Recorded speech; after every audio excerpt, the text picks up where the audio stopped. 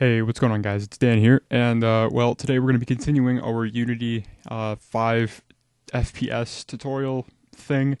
Uh, in today's episode, we are going to be doing a mouse look, sort of mouse follow script. So if you if you've ever played an FPS, which I can probably guess that if you're watching this tutorial series, you're probably going to have played one. Um, otherwise, you wouldn't be knowing what you're looking for, and you probably wouldn't have found this video. So, uh, if we go ahead and just play real quick, I'll, I'll explain what we're going to be doing. So, if you play an FPS, if you were to move your mouse cursor around, your character's screen is going to um, move based upon where the mouse is. So you'll actually be able to look around and whatnot. And we'll also go ahead and actually start setting up the uh, FPS aspect of the game. So we're not actually going to be watching the character from uh, way back here. We're actually going to put the camera inside of his head, and we're going to be able to uh, work with that. So uh, let's get started then. So in our scripts folder, uh, we're going to go ahead and create a new uh, JavaScript. And this is going to be called, uh, let's just call it mouse, mouse look. Just something super simple like that. And go ahead and open it.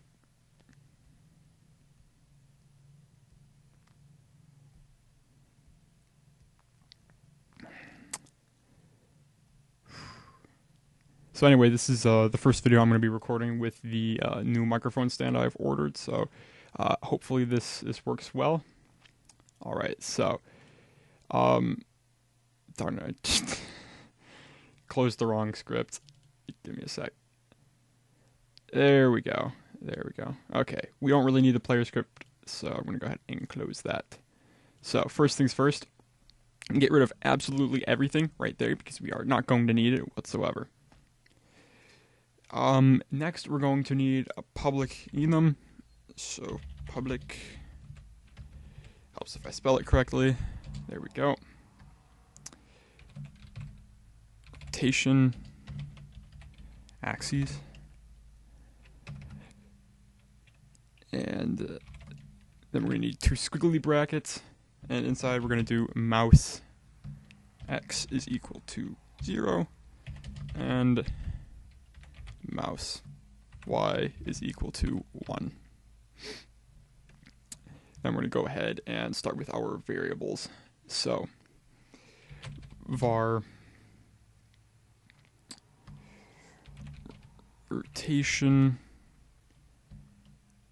axis xy which is going to be equal to our rotation axis uh, enumeration dot mouse x or rotation axes dot mouse y.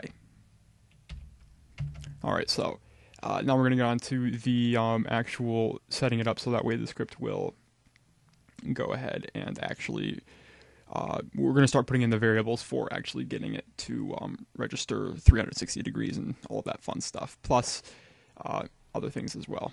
So we're going to need a variable for our sensitivity.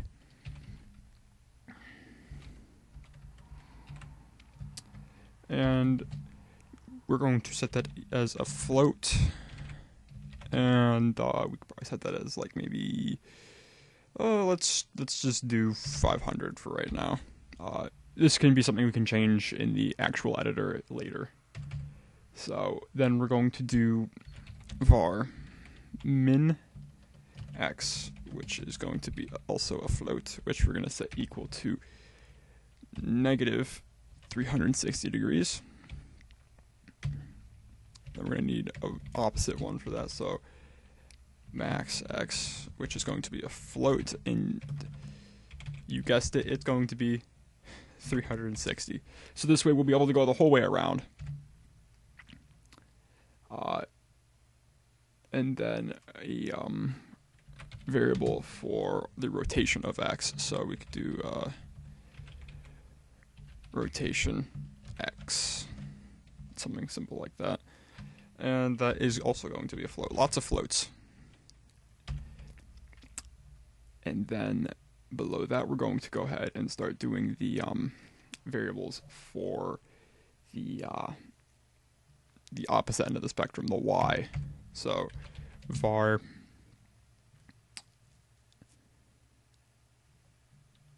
or well, actually, we could probably let's do this in order. I'm I'm reading this off of a script that I've written in the past.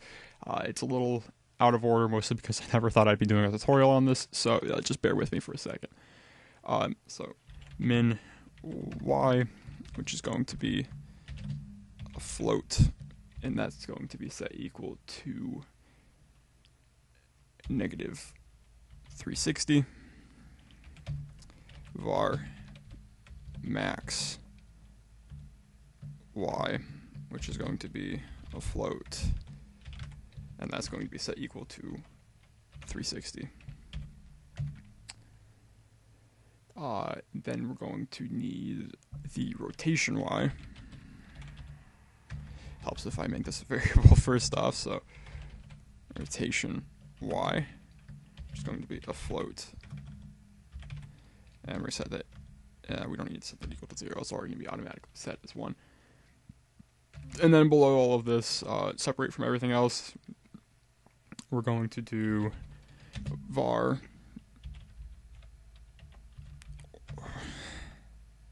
origin rotation. And that's going to be a quaternion. Alright, so now onto the actual uh, functions that we're going to be using in this script. So we're going to just need our function update because most scripts are going to require this at some point or another. Alright, so in here we're going to do if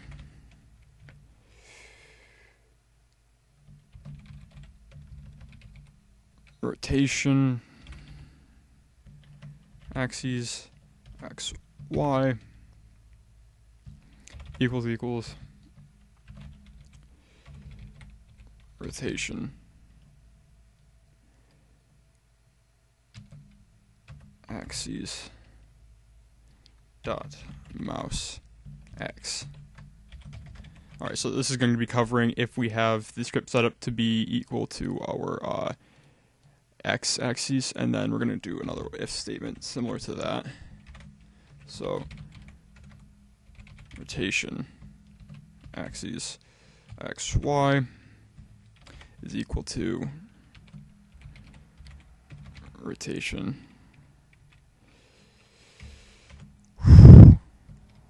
axis. Oh, wait oops, uh, back up here on line 18, we're going to remove the XY. I don't know why I put that there. Um, dot mouse. Y. There we go. Close that off. And so we've got our two if statements for inside of our um, update function. Inside of the uh, mouse X if statement, we're going to go ahead and start putting some stuff in there. So what we're going to need is um, rotation x plus equals input dot get axes. Into the parentheses, we're going to do mouse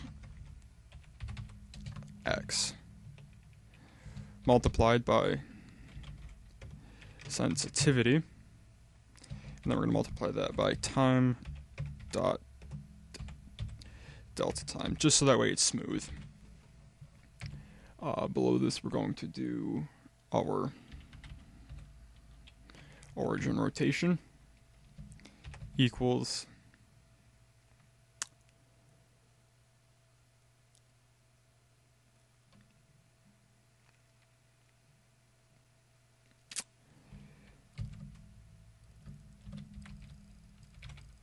x quaternion which is equal to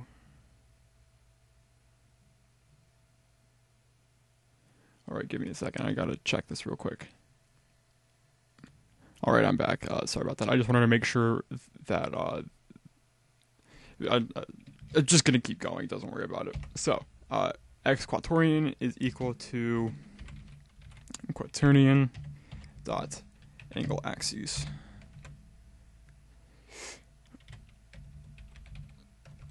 Rotation x comma vector 3 dot up. Below that we're going to do transform dot rotation sorry transform dot local rotation is equal to origin rotation multiplied by our x quaternion.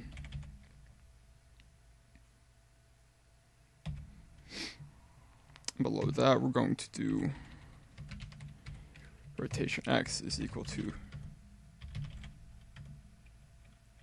clamp angle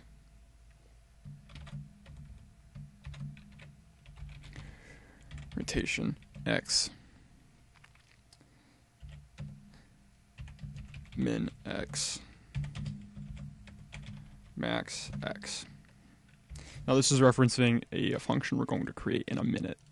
Uh, so before we do that, we're actually going to go ahead and quickly do the uh, mouse y if statement, so that way we can just keep going. And it's going to be very similar to all of this, except there's going to be a few minor differences, obviously, because it's two different things. So in here, we're going to do rotation y minus equals input dot get axis mouse y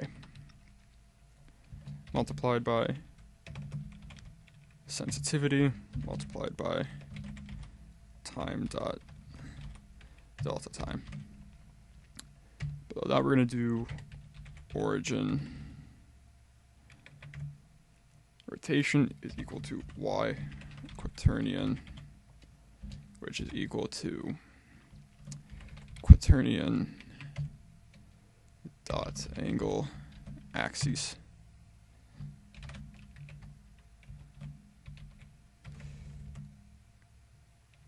rotation y vector 3 dot right. Okay, then below that we're going to do transform dot local rotation is equal to origin rotation multiplied by our y uh, quaternion. And then below that, we're going to do rotation y is equal to clamp angle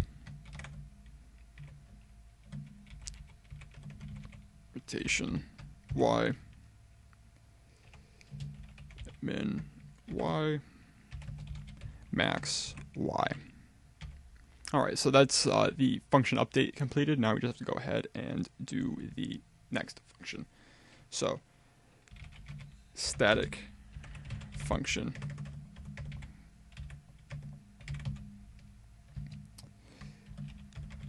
Clamp ang angle. Oh my gosh. All right, so uh, whatever you named this here and this here has to go here. Otherwise, it's not going to work. So if you've named this something differently, this is going to have to be the same thing, or vice versa. Inside the parentheses, we're going to do angle, min, max, fl float.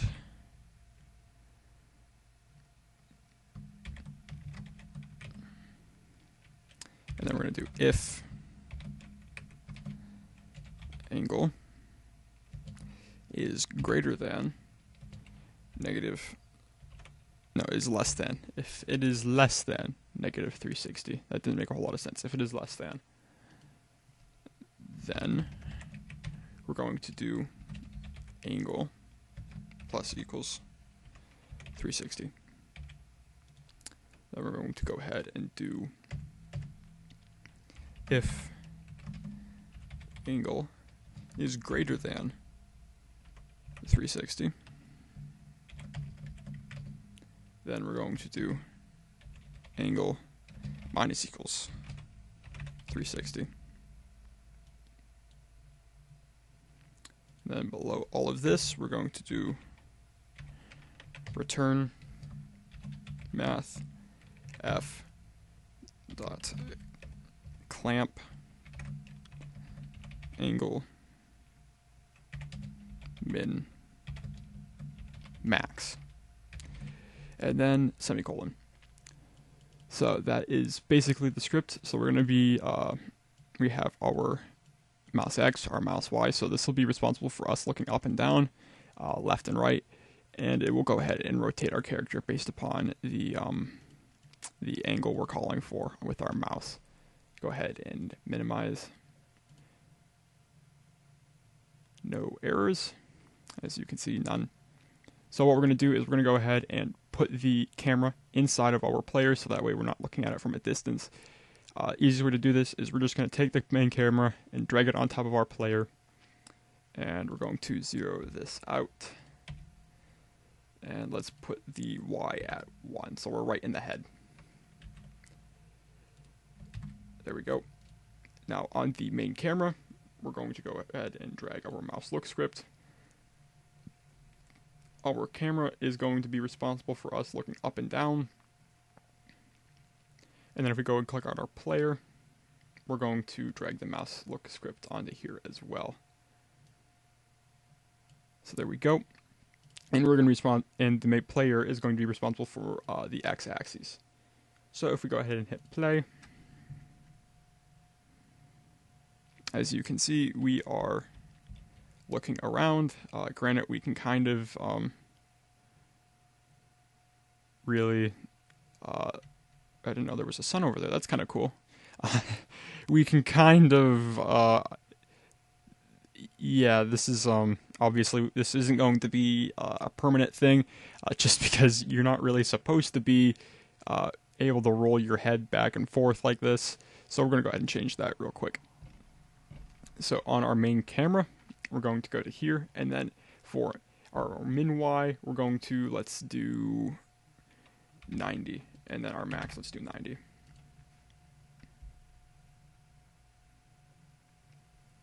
Okay, still too much. Uh, we're going to do negative 45 and 45. So there you go.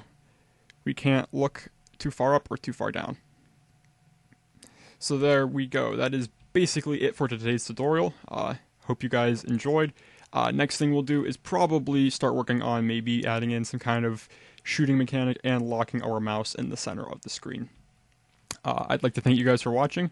And if you have any suggestions or comments or anything, uh, please leave them in the comment section below, and I'll be sure to get back to you as soon as I can. Uh, thank you very much for watching, and I'll catch you guys next time. Take care. Oh, kind of. There we go. I'll catch you guys next time. Take care.